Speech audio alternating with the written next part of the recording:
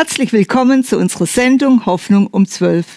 Heute Morgen hatten wir es von Vergebung bei unserer Andacht. Vergebung ist ein wichtiges Element in unserem Leben. Es ist zu unserem eigenen Wohlergehen, dass wir vergeben, weil wir damit frei werden von Lasten. Lass los und bring es ans Kreuz. Alle deine Lasten, bring es ans Kreuz. Da bekommst du Vergebung und gleichzeitig sollen auch wir vergeben. Hoffnung um zwölf. Wir wollen dich heute wieder ermutigen. Heute zu dem Thema, entscheide dich, frei zu sein.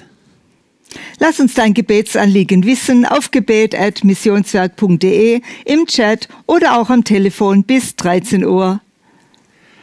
Entscheide dich, frei zu sein. Isolde hat mit diesem Thema schon angefangen und das ist wirklich eine Entscheidung. Das Vergeben. Das Vergeben ist nicht, wenn wir nicht vergeben, binden wir uns selbst. Wir schränken uns ein, dass geistig nicht das Gute und das Vollkommene mit uns passieren kann.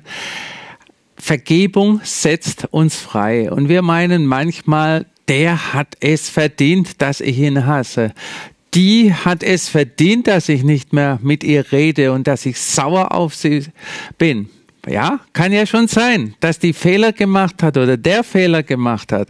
Das heißt ja nicht, dass wir erst vergeben, wenn die anderen richtig laufen. Wir müssen vergeben, dass wir selber frei werden. Und wenn wir frei sind, das ist eine Herzensentscheidung.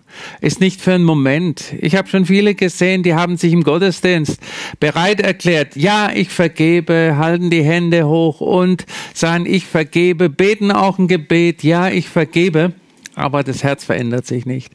Ich sage dir, Vergebung, wahre Vergebung ist, wenn sich das Herz verändert, wenn du wirklich sagst, ja, der läuft falsch, ja, die läuft falsch, aber ich habe ihr vergeben von Herzen und die Sache ist für mich erledigt, dann bist du frei.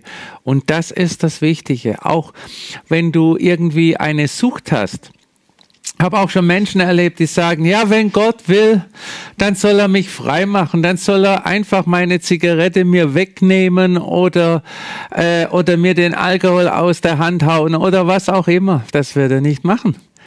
Es ist eine Entscheidung für dich, frei zu werden. Du musst dich entscheiden und Gott hilft dir dabei. Er hat am Kreuz alles getan, dass du frei sein kannst, aber es ist deine Entscheidung. Und das ist nicht was, wo du nur im Gottesdienst tun kannst. Du kannst es jetzt tun.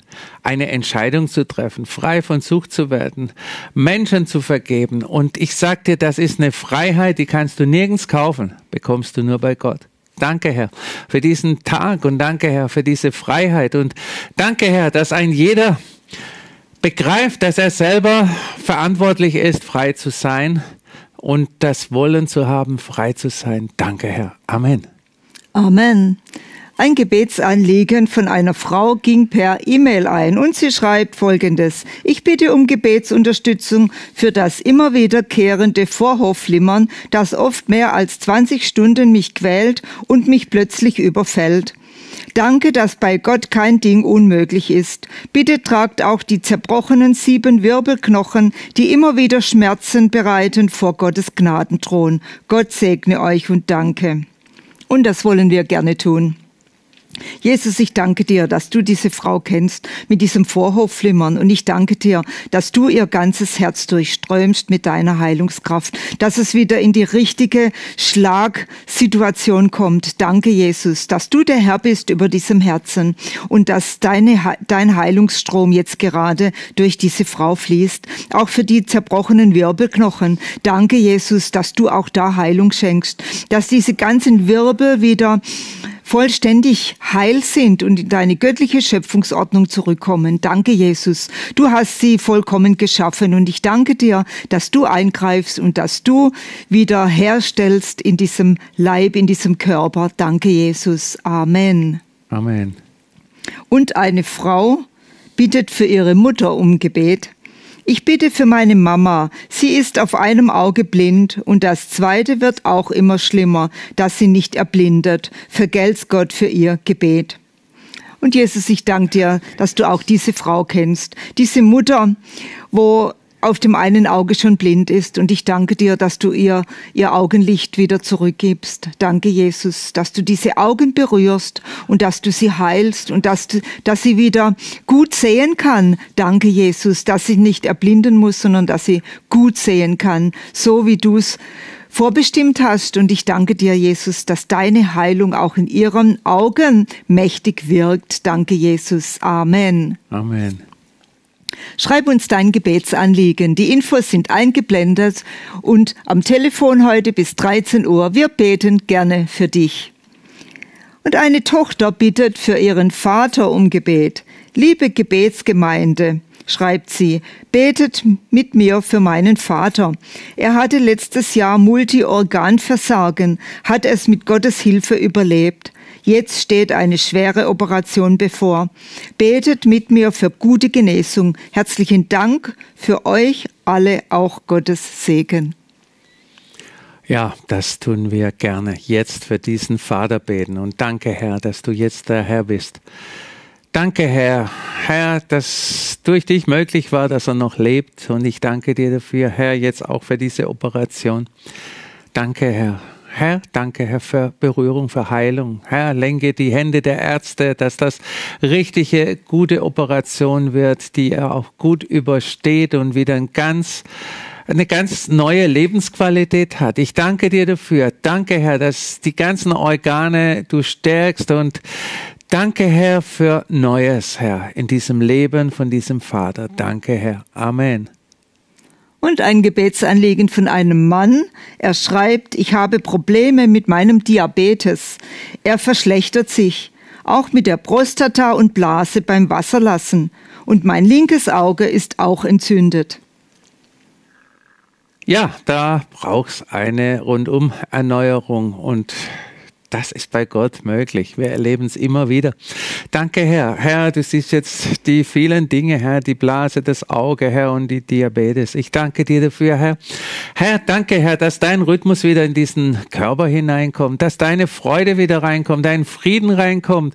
Herr, der alles, alles vertreibt, was irgendwo krank ist und nicht richtig funktioniert. Danke, Herr, dass du Neues schenkst. Ehre sei dir, Herr. Amen. Amen. Menschen erleben Gottes Eingreifen Schwerer Unfall empuppt sich zu einem Wunder, schreibt da jemand. Meine, meiner Tochter ist ein Kind seitlich ins Auto gelaufen.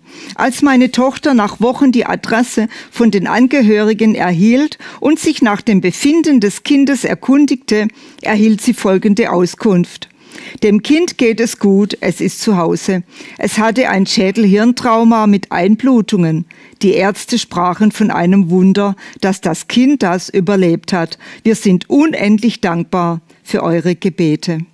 Ja, das ist wirklich ein Wunder.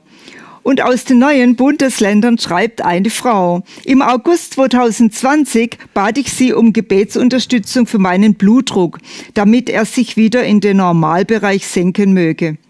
Sie sandten mir einen mutmachenden und glaubensstärkenden Brief.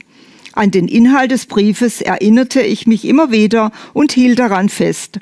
Ganz allmählich verbesserte sich mein Blutdruck. Jetzt bin ich voller Freude und Dankbarkeit. Mein Blutdruck bewegt sich wieder im Normalbereich. Dem Herrn sei Dank. Auch Ihnen danke ich für Ihren Gebetsdienst. Ja, manchmal heilt Gott gleich und manchmal dauert es eine Weile, einfach in Etappen. Und eine Großmutter bat für die Ehe ihrer Enkelin. Ich möchte mich für eure Gebete für meine Enkelin bedanken. Ich hatte bei euch angerufen und um Gebet für sie und für ihre Ehe gebeten. Jesus hat die Gebete erhört. Sie sind wieder zusammen. Danke Gott und danke euch. Und eine andere Großmutter schreibt Folgendes. Ganz herzlich möchte ich euch danken, dass ihr für die Prüfung meines Engels gebetet habt und gleichzeitig mitteilen, dass Gott alle Gebete erhört hat. Danke Jesus und danke auch euch.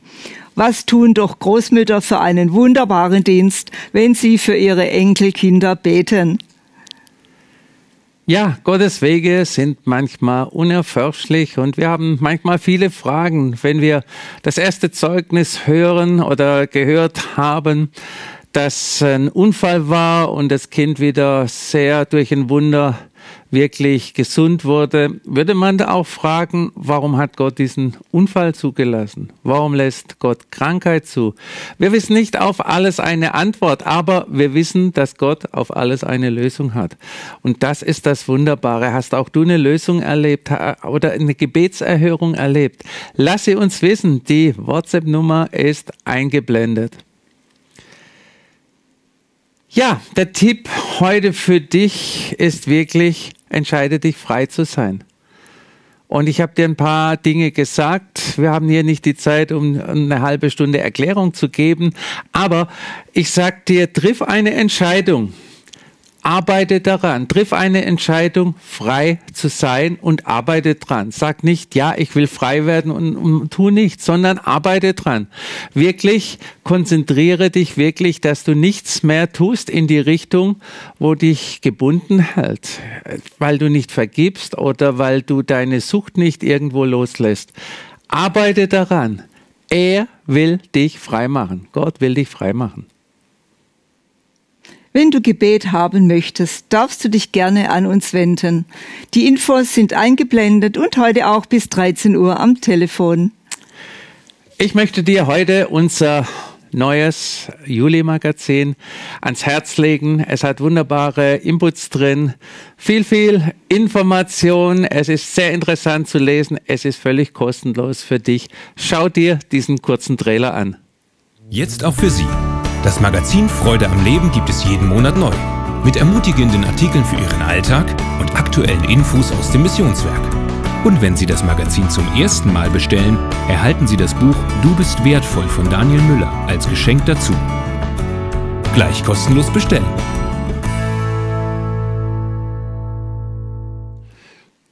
Schön, dass du heute dabei warst und wir wünschen dir noch einen gesegneten Tag. Alles Gute und Gottes Segen. Bis bald.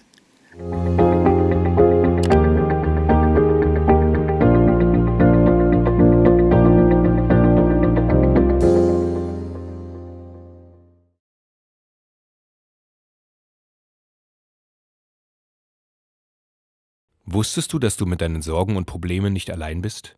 Schick uns dein Gebetsanliegen auf missionswerk.de. Dort findest du auch ermutigende Artikel und vieles mehr. Schau doch mal vorbei.